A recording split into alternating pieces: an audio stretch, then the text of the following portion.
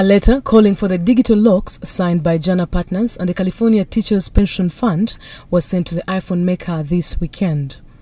The call for better controls was welcomed by academics studying youngsters' use of technology. Jana Partners and the California State Teachers Retirement System called on Apple to consider the impact excessive use of smartphones had on the mental health of young people.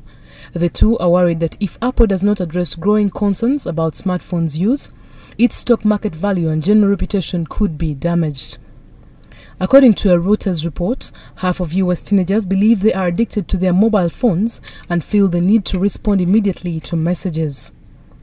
Sonia Livingstone, a professor of social psychology at the London School of Economics, said it was good to hear the call from the investors. She added that there needed to be one voice between device manufacturers, social media companies, and internet service providers on the issue of smartphone use. She called on Apple and other device manufacturers to have all notifications on smartphones switched off by default and for the creation of occasional reminders that urged youngsters to take a break from their phone after long periods of use. Professor Livingstone, who also runs a parenting blog, did question the use of the term addiction for those who spend a long time using smartphone, however.